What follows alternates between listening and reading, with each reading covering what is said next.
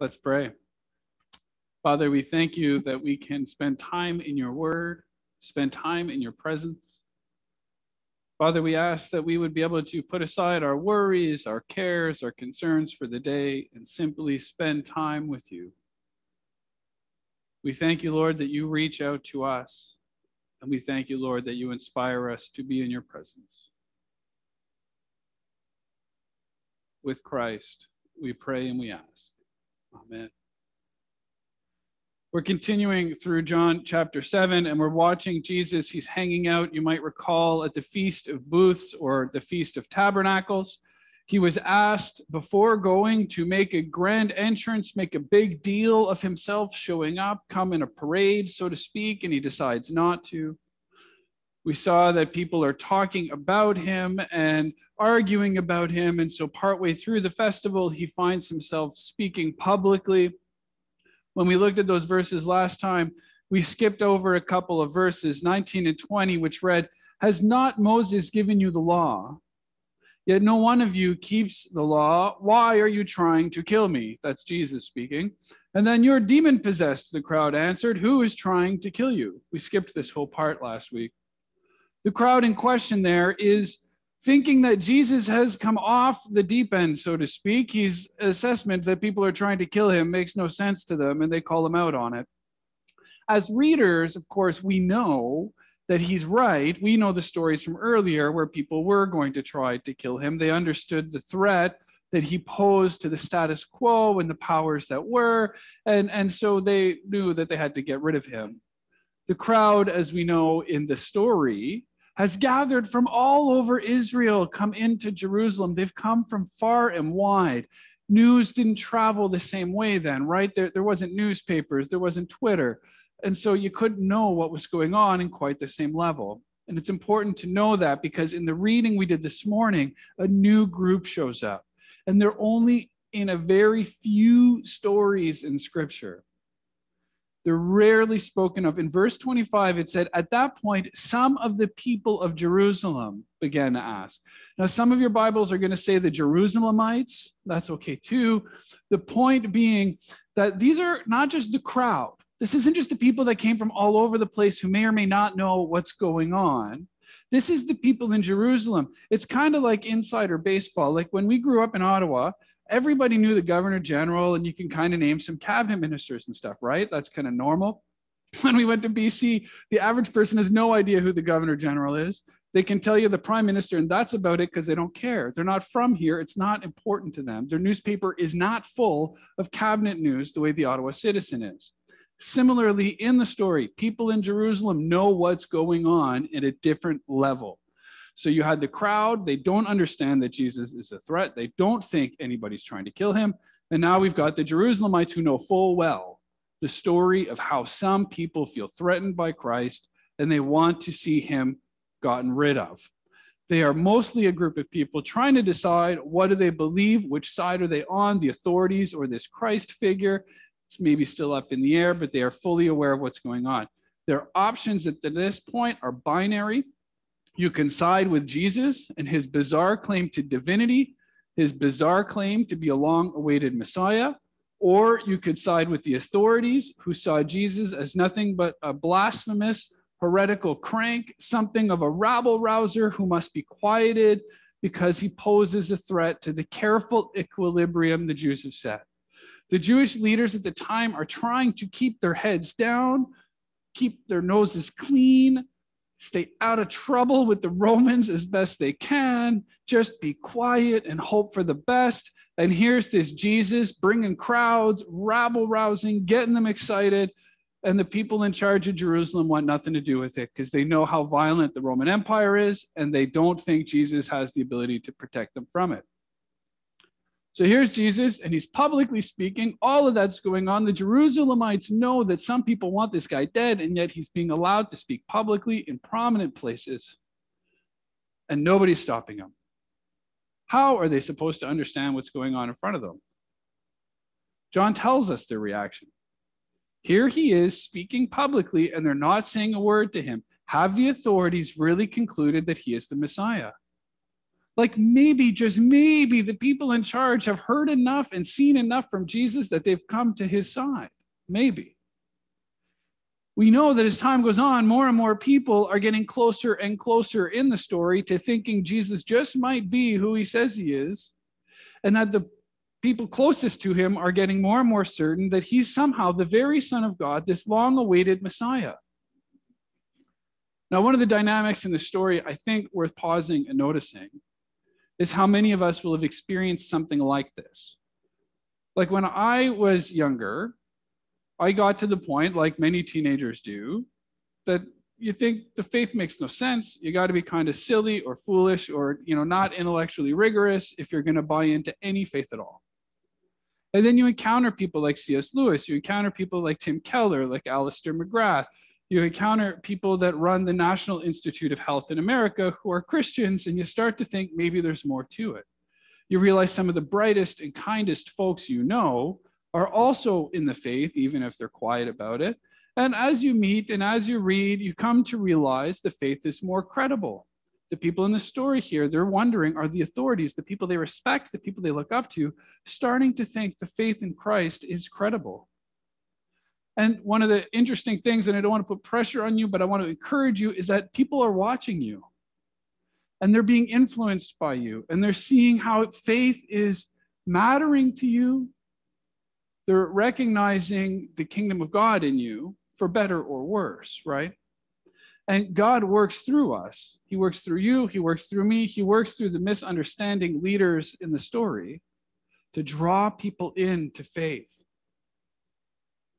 One of the challenges of being the Messiah character that Jesus faces, though, is that it's not that clear how you would identify him. Today, we inherit the whole Bible. We can see the whole Bible. We get study Bibles and all the rest of it with commentaries and stuff. And so we think we know what the Messiah is supposed to be, who he's supposed to be, what he's supposed to do, how it's supposed to look, what the impact's supposed to be.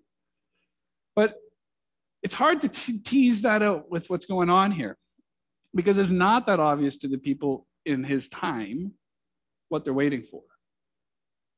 David Rensberger is one of many theologians who argues there was no single uniform messianic doctrine among the Jews in antiquity, so there was no checklist of messianic credentials.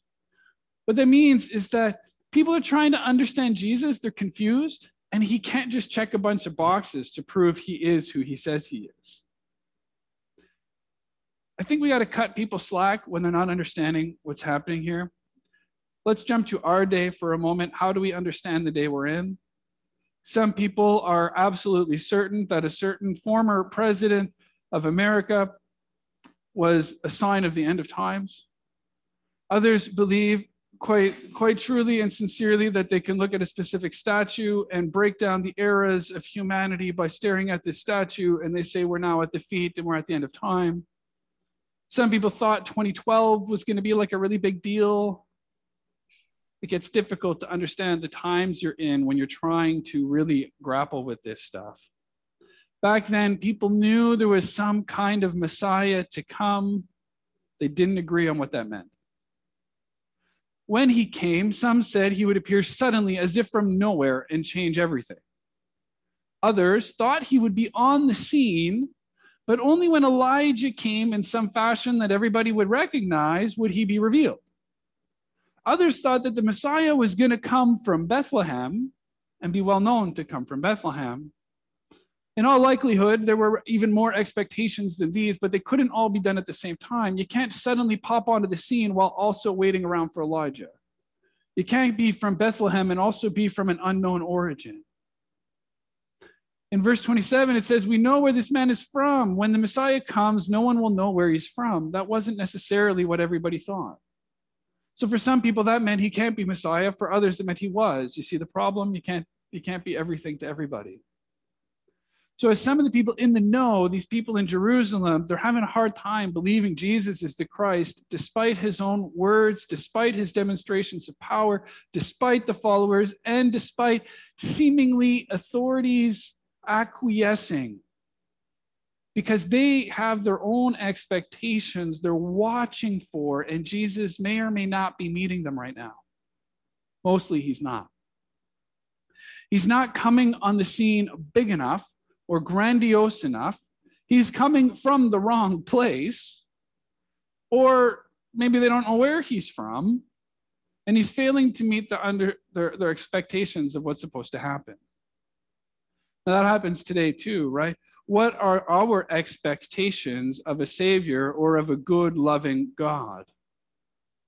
So far as we can tell, this will often pull us away from the faith when God fails to do what we hope for Him to do. For instance, we often like to think we know what's best. We look at a broken world, you can watch the news any day of the week, and you'll see that if there was a perfect God and he was perfectly powerful and perfectly good, then these stories we see on the news just wouldn't happen, right? But when we say that kind of stuff, what we're doing is we're putting ourselves above God. We're judging the events, we're judging the divine, and finding both wanting as though our vision, our understanding, our explanations are the only possible ones, and they're obviously right. Now, to some extent, that's fair. The world is a broken place, and there's a lot of pain that needs accounting for. But if you read the Bible, you see that in Genesis, right at the very beginning of the Bible, it says the world is cursed. It's not the way it's supposed to be. And so you better expect that. The Bible doesn't promise everything's going to be awesome all the time, right here, right now. It promises that God loves creation. God promises to redeem creation and has the power to redeem it in ways we don't understand. When we place the sort of critique that God is beneath us, we're ignoring these elements of the Bible that say, no, no, no, don't expect that yet. And yet, expect that one day.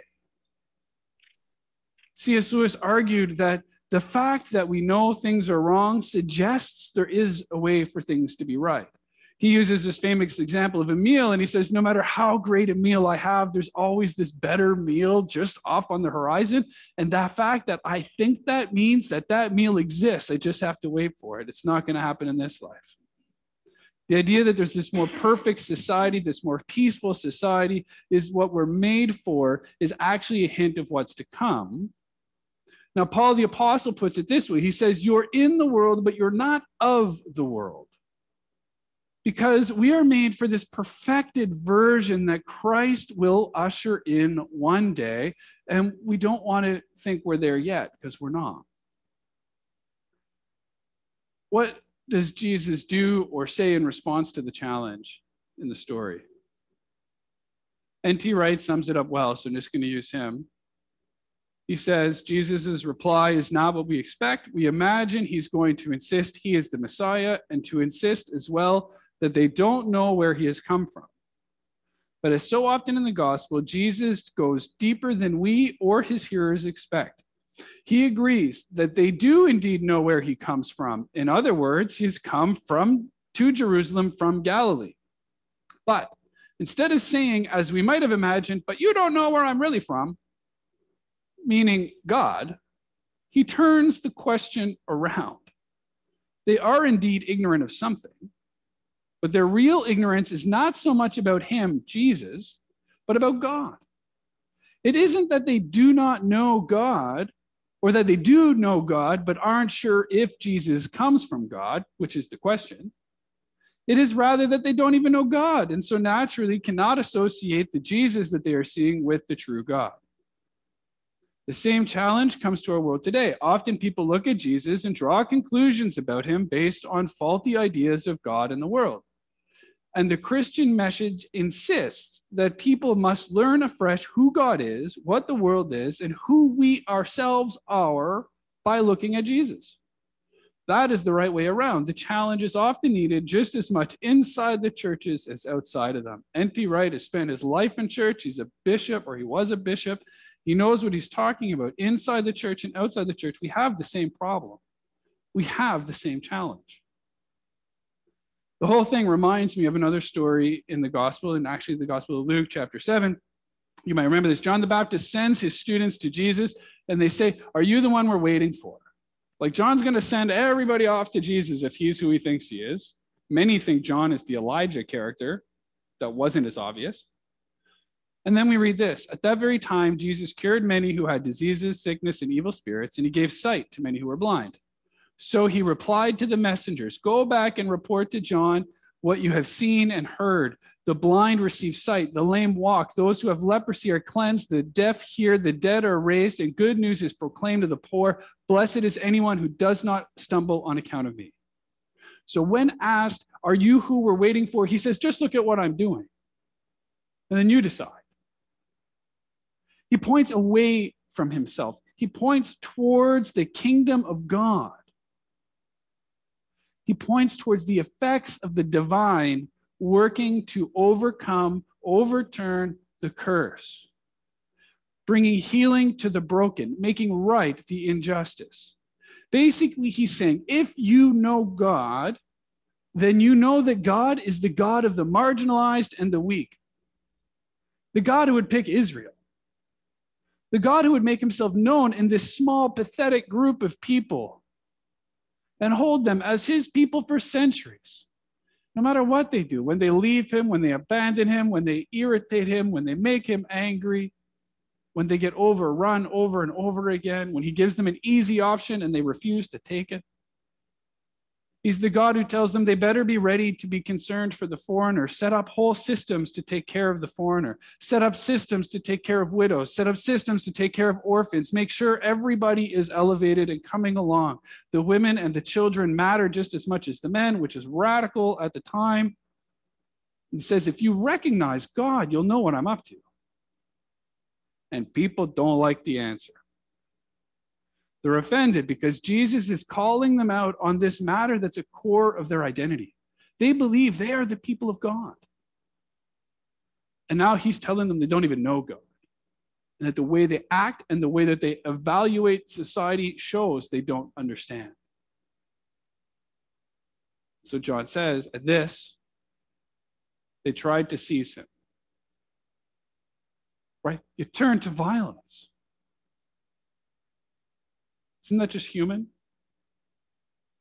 But no one laid a hand on him because his hour had not yet come. His time is going to come. The plots and the timelines of men and the divine are not identical. It's part of the theme that Jesus doesn't meet expectations. He's not doing stuff on our time. Like the people would not know where the Messiah came from, or they would know where he came from. The, the expectations are being blown up. Jesus and God are not required to fulfill all of our expectations. They're not bubblegum machines, they're persons. And we're to be on the lookout for them. The passage ends with these people that recognize Jesus, recognize the miracles he's doing. They say, still many in the crowd believed in him. They said, now remember, back to the crowd, not the Israel, the Jerusalemites, the crowd is coming on board. When the Messiah comes, will he perform more signs than this man? Like Moses, who performed powerful acts in the wilderness, acts over creation, acts of liberation. Jesus is demonstrating a power over the elements, the sea. He's offering this ability to liberate people from demons, from sickness. They had hoped that he would remove the Romans the way Moses took them away from Egypt. His, the expectations are always on display. And yet they see something that's going on, don't they? This last line might be an allusion of some sort to the work that Jesus had pointed out to John the Baptist. It might be a hint to us about our theological arguing that we also love. How many angels can dance on the head of a pin? What does kenosis really mean? I got in trouble in seminary because I basically refused to write this paper about the kenotic Christology because I argued that it, it would take me a long time and I, I suspected I could be a minister for 45 years and nobody was going to come to my office and say, Could you define kenotic Christology for me? And I had other stuff to do. They're secondary to the work of the kingdom of God. They're important, they're not unimportant, but they're secondary. The work of the kingdom of God that Jesus is pointing to is stuff like shelters for battered women, offering safe haven, education, resume help. stuff like food banks that make sure people can survive, addiction services, groups helping people fight their own demons while retaining their humanity, hospitals that care for the weakest and poorest people in the world, water offered to the parched, maybe vaccines. I'm not that smart, but I find it a bit interesting that America is donating vaccines to Canada, of all places, like we're a charity suddenly. A church, a kingdom of God, offering spiritual direction to people who are affluent but lost. A hug for the people who are depressed or anxiety ridden a meal at the table in the sanctuary where everybody comes equally broken. It doesn't matter who you are or what you did this week. John ends the story with still many in the crowd believed in him. They said, When the Messiah comes, will he perform more signs than this man? And they're asking it rhetorically. They're not saying they think he will, they're saying he is. Now, one of the things I've learned about ministry is a lot of ministers burn out. Almost everybody I know has been on medical leave of some sort for all kinds of reasons. And one of the big disappointments I think that ministers are facing is that we rarely see lives changed like this.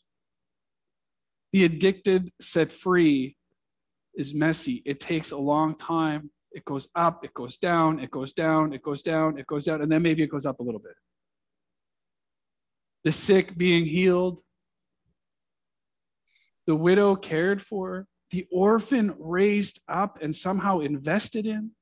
We don't see this that much. The signs that people hope and expect for. There's a story of a guy who was very interested in church. He had never been to one, read the Bible, read it and read it. Somehow he'd come across this. And so he went to this big church in New York and he sat through the whole thing and the preaching and the music and he was all involved. And on the way out, said to the minister, Is that it? The minister said, Well, yeah, that was pretty good. There's like 5,000 people here. Like it was a big thing. Uh, and the kid says, But like, when do the exorcisms happen? When, when are the people going to get healed? When's the addicted guy going to get off the porn? We have expectations and hopes and dreams, and it's good that we do. When I read a passage like this, I feel like we're all called to humility, though. Like, I don't always know what's best for my kids. I really don't always know what's best for a congregation. I don't know what's best for the community we live in all the time. I can't tell you if Ottawa's new city plan makes any sense. I can barely even read it. But it's okay because God is ultimately in charge. Like, God knows what's happening, knows where we're headed, and has promised we're going to get there despite our best and worst efforts. We are simply called to listen to him, to see where he's calling, to watch for where he's at work in the world, and just jump on board with that and do our very best. We're in a broken and confusing world, and we all want to be on the side of justice, of mercy, of love, of patience, gentleness, kindness, and that means being on the side of Jesus however and wherever he chooses to work, however you're going to understand him. He's calling you to find him at work. A few moments ago, we read Psalm 100. I'm going to read it again. Think about what it means to actually be somebody saying this with intention, with meaning, with purpose. Shout for joy to the Lord, all the earth. Imagine a time of pandemic, if we could all shout for joy, what does that mean? Worship the Lord with gladness. Come before him with joyful songs. Know that the Lord is God. It is he who made us, and we are his. We are his people, the sheep of his pasture. Enter his gates with thanksgiving. What happened to you this week? What are you worried about? What are you nervous about? Come and enter with thanksgiving. Come to his courts with praise place where you're to be judged with praise. Give thanks to him and praise his name, for the Lord is good. His love endures forever. His faithfulness continues throughout all generations, no matter how messed up no matter how wacky. On Father's Day, you might want to remember that. If you have the types of fathers that some people have, you need to know that God's love works anyways. You're going to pray that that would be true for us. Some people have a hard time with Father's Day. We know this. Some people's dads were not very dad like. Other people want to be dads and they don't get to be dads for all kinds of reasons. And so it can be difficult. It can be good for some of us, but it can be hard. There's also those of us who lost our dad this year and haven't been able to grieve properly with our friends and our family because of COVID. And so we'll take a minute. We're going to pray that we can see the kingdom of God at work even there. Let's pray together. Lord, would we recognize you at work in our lives? Would we recognize you at work in our family? Whatever it looks like. Lord, teach us to forgive if that's what's needed. Comfort us or give us peace if that's what's needed. Lord, you know what our church needs. You know what our community needs. You know what our world needs. Lord, would you work in and through us that we would be part of showing your world that your love really does endure forever, that your faithfulness is good and true, and that these promises of this better time, this better era, are going to come to fruition. Lord, and help each of us as we encounter you that we would know Christ, know him on the cross, and know him resurrected from the empty grave. Lord, only you can provide us with this inspiration. And so we pray that you would give us the insights of those people at the end of the story who are seeing the work of Christ and recognizing him in it. We give you thanks. We give you praise that you want to hear us and that you want to be with us through Christ and with Christ. Amen.